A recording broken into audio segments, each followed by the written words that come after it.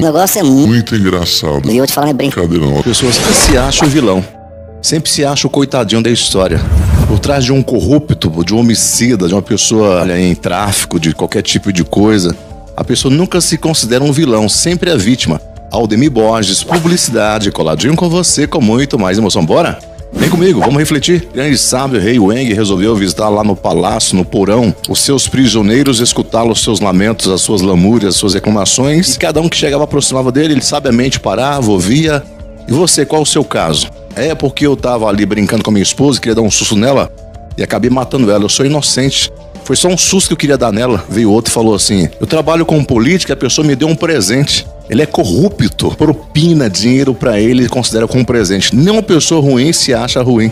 E chegou um rapaz logo na sequência e falou assim: Ó, oh, eu realmente fiz uma coisa muito errada, briguei com meu irmão, feri meu irmão, mereço estar aqui para refletir pelo que eu fiz, eu tenho culpa e vou cumprir aqui o meu tempo aqui porque eu sou culpado. Mandou chamar o soldado e pediu que tirasse aquele rapaz dali que ele era culpado e iria corromper os demais da sua culpa. A maior parte das pessoas são erradas, são corruptas, maldosas, maliciosas, invejosas, prepotentes, manipuladoras.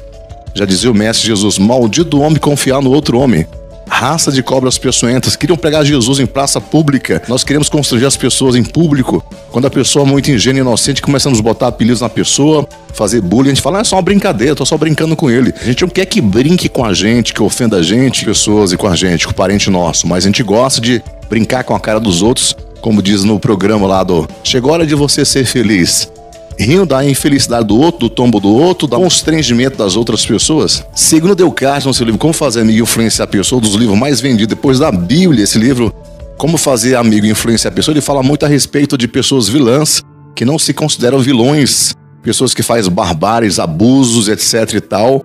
Dizem que fizeram aquilo porque foram abusados da infância, olho por olho, dente por dente. Ele não considera um vilão, um maldoso.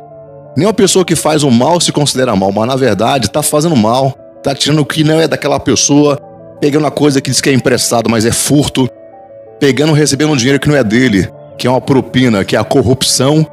Ele passa do sinal do trânsito, pisa no acelerador, desdenha das pessoas pelas costas, são covardes, são injustos, são maldosos. Ser humano não é brincadeira mesmo. E a gente nunca quer aceitar o título de malicioso, de maldoso, de culpado.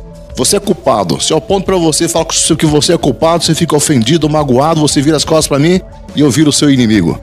Se alguém falar para mim também, eu não aceito, não concordo. É da índole humana, é do ego humano. A gente enxerga os outros, aponta o dedo, mas três dedos estão apontando pra gente.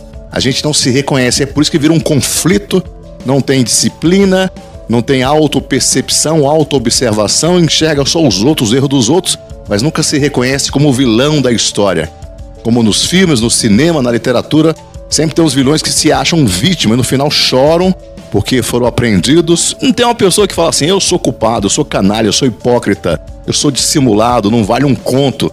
A gente sempre se acha o inocente, humilde, baixa um peito, eu sou humilde, coitadinho de mim. E, na verdade, eu sou o grande vilão.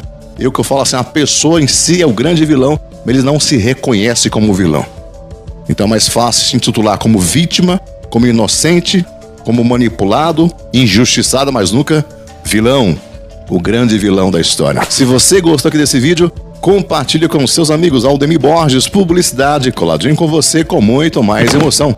Dá meu like aí, inscreva no canal e que Deus te abençoe abundantemente e poderosamente todos os dias da sua vida. Gratidão e perdão sempre, meu Deus. Gratidão e perdão sempre, meu Deus. Gratidão e perdão sempre, meu Deus. E esse é Forte abraço, beijo enorme, tchau e até o próximo encontro.